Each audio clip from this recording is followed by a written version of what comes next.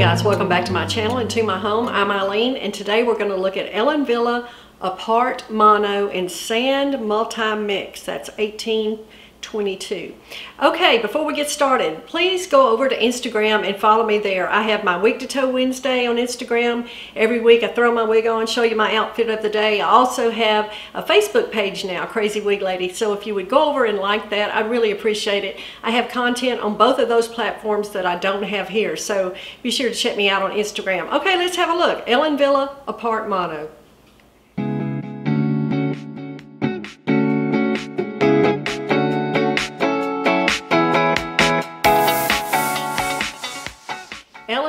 Wille Apart Mono. This is so cute. This is part of her Hair Power collection.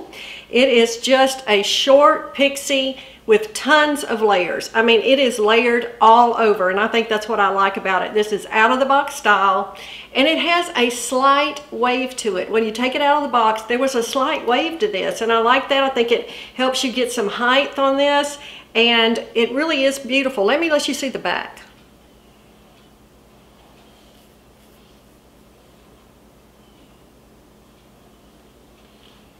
Such a cute style. I love these styles that are close to the neck. On these uh, pixies, I think it's important that you can move your head around, up and down anyway, and it will not come off your neck. And I think that's really a nice feature of these Ellen Wille wigs. She puts stays in the neck in the nape back here and it just keeps it really snug to your neck and I really appreciate that. Like I said this is just a short slightly wavy style with tons and tons of layers. And it just gives you this fun easy easy to wear style. Okay I'm going to take it off and we'll look at the inside of the cap. The inside of the cap for Ellen Wille Apart Mono look at this large mono top and beautiful deep lace front. This area does have some permatease to give you that lift down into the closed ear tabs with stays. It's open wefted, extended felt nape with Velcro adjusters, and there is some stretch in this wig. Really beautiful mono top and lace front. Okay, let's talk about this color, Sandmulti Mix.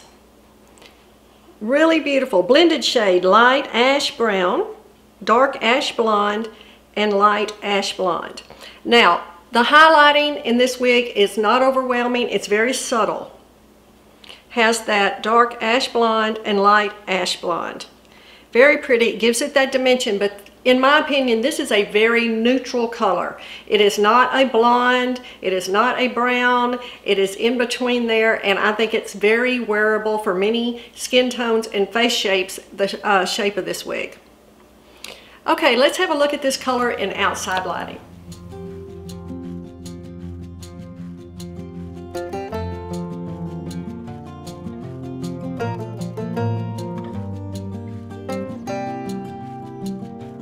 All right, let's talk about the specs. The front is 3.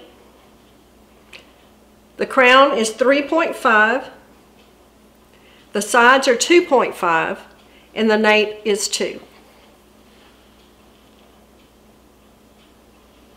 Again, really nice nape on this wig. And there is excellent coverage on this wig as well.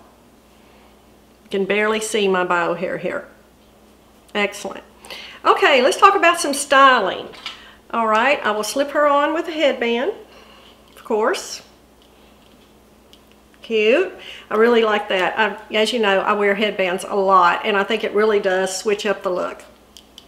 Now, to get some texture, which you know I love, you can either use some Jon Renau Peace Out Cream. I use it all the time and love it very much.